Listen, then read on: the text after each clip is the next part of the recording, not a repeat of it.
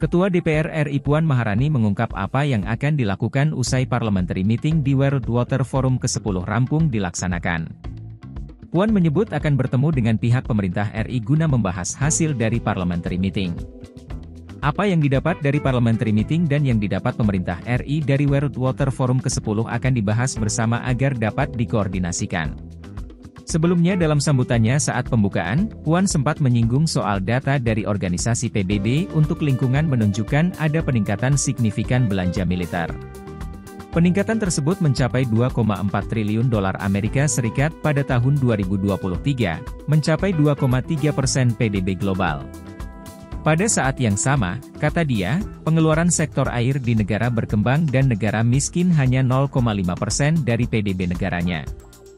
Hal tersebut dinilai kontradiktif ketika dunia dihadapkan pada ancaman luar biasa, termaksud yang ditimbulkan oleh perubahan iklim dan kelangkaan air. Menindaklanjuti hal tersebut, ia mengatakan DPR bersama pemerintah RI akan membahas lebih lanjut mengenai biaya dan perihal terkait lainnya.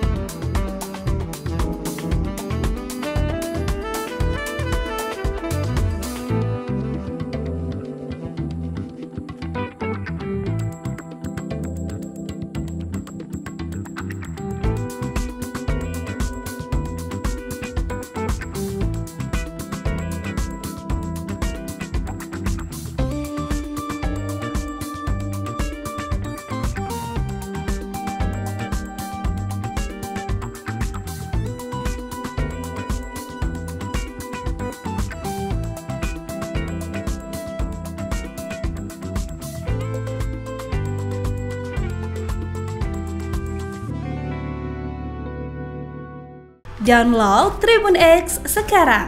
Menghadirkan lokal menjadi Indonesia.